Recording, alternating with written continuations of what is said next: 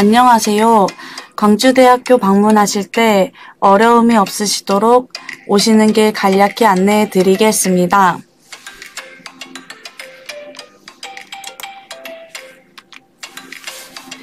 인천공항 제1여객터미널입니다.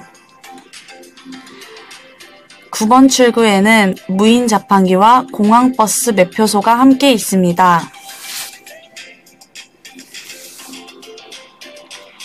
무인 자판기로 이동 후 광주광역시 가는 버스를 조회해 주세요. 승차권을 구매해 주세요.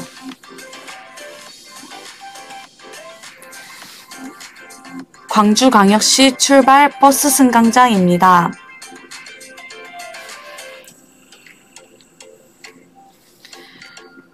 버스 승강장은 1층에 위치해 있습니다. 출발 승강장 번호는 12번입니다.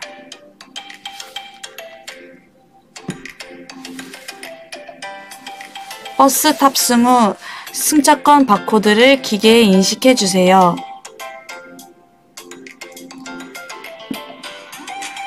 TV 좌석 확인 후 자리에 착석해 주세요. 안전벨트는 필수입니다.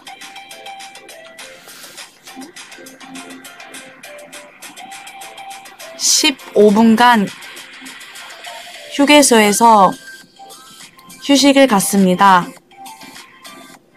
이때 주의하셔야 할 점은 비슷한 버스가 많아서 버스 번호를 확인하고 탑승하셔야 합니다.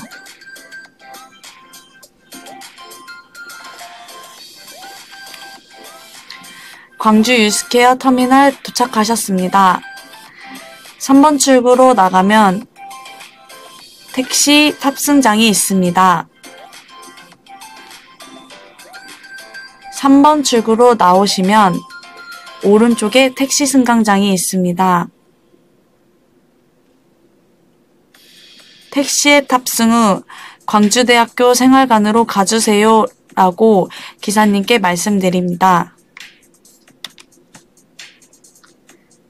광주대학교 생활관 도착 후 택시비를 지불하고 사관 선생님을 만나서 인사드리며 안내를 받습니다. 감사합니다.